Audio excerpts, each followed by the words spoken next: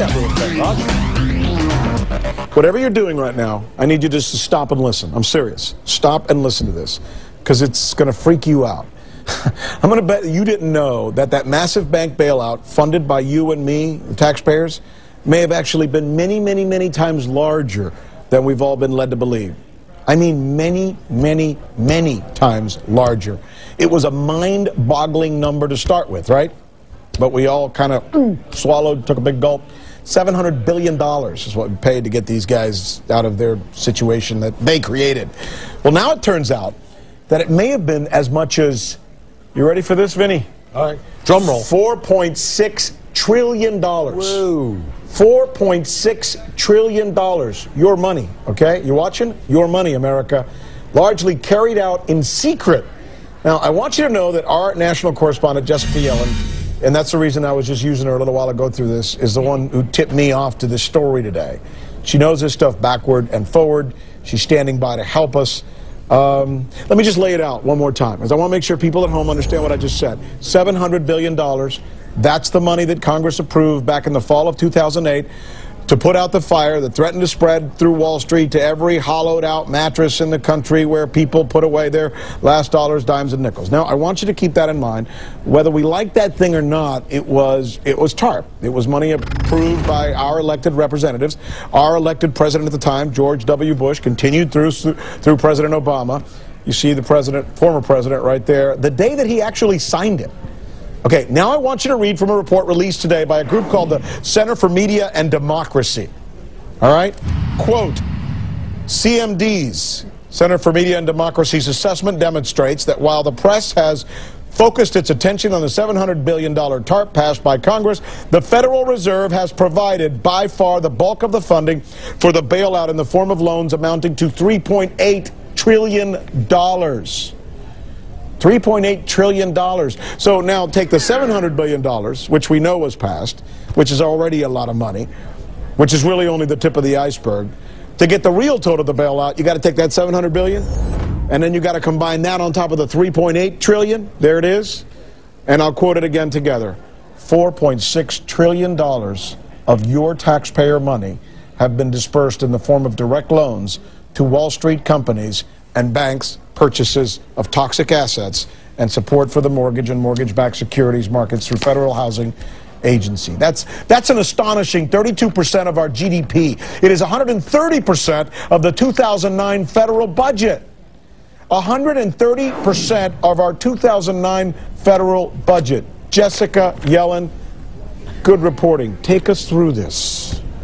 Isn't it amazing? Because Rick, we all focused on what what we saw Congress working on. That was in public, but so much of this has been going on behind the scenes, not by ill-willed people who just want to hand over cash to bankers, by very well-intentioned people at the Federal Reserve, at the mm -hmm. FDIC, all these acronym organizations that just want to, you know, keep the bank stable, but all that money out the door, and a lot of Americans are asking, what have they seen for it?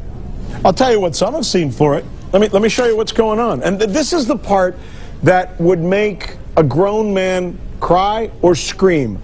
I'm not sure which one. I mean, if I were Glenn Beck, I'd cry, I guess. Uh, watch this. watch this. These are hedge fund people, right? These are the Wall Street guys. These are the guys who are doing really well up there as a result of what uh, this our money is being used for. You could argue. Look at these guys. This is Business Day, New York Times. David Tepper, $4 billion a year. Vinnie Politan, how'd you like to make 4 billion bucks a year? Not bad. George Soros, uh, $3.3 billion. I got to put my glasses on. I'm getting old. James Simons, 2.5 billion. John Paulson, $2.3. These are these are annual salary, folks. You guys are watching us at home. Steve Cohen, $1.4 billion. Carl Icahn, $1.3 billion. Anon, anon, anon. Amazing. Tell us more about this, okay. Jessica. Two things, Rick. One, we should point out none of those guys works for any of the banks that got direct money from the government. But, so they're uh, they're a step removed. But would they have been making this money had Wall Street crashed? Absolutely not. And so yeah. there's a big debate going on right now whether or not it was necessary to spend just that much money on rescuing all these firms. Uh, and the other thing you got to remember is Congress is about to come back in session and decide whether or not they're going to put new limits on these same firms. And it's not at all clear that they have the political will to do anything now. Nor So does we this. spent well, all that. But, but, but, but can't you argue that nor does this administration? I mean, how can we expect an administration, just a fair question out there, as a citizen and as a reporter, how can we expect an administration that has tied itself, tied its uh, rope to the wagon completely with nothing but economists and members of the cabinet that all come from Wall Street to be able to put the kibosh on any any of the shenanigans that Wall Street was doing. I mean, it. it I it- think they wanna I rein think- in I think the shenanigans. there- but there's but but isn't there a uh, isn't there a conflict the of interest there?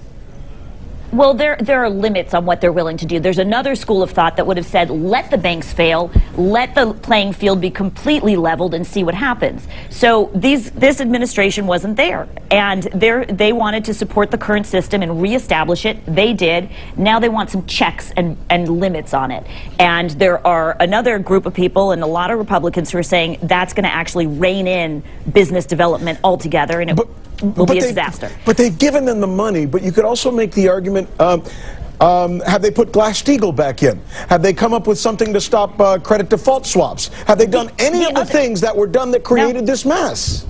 No, and the other very compelling argument is a lot of people say maybe they would have done better if they'd given some of this money directly to homeowners who have mortgages they can't afford Yes. and let them pay that money back to the banks. Then the banks get the money eventually, but the homeowners have their home in the end. Why didn't they give some of this money Yeah. directly to the people instead of to the banks? And yeah, there'll be why- a lot why- of history written on whether that was a mistake not to do it. Why was it top down? Why wasn't Yeah, it bottom exactly. up? Well, because the people who were putting the plan together, it would seem, and this goes back to the question I, I asked, just an inquiry, because the people who were putting the plan together weren't from the bottom. They were all from the top. Call me crazy. Well, they have a scholarly answer that's different, but they yes, this is the debate. Jessica, you're fantastic. Good stuff as usual. Good to see you. All right, we're going to be back in just a little bit with.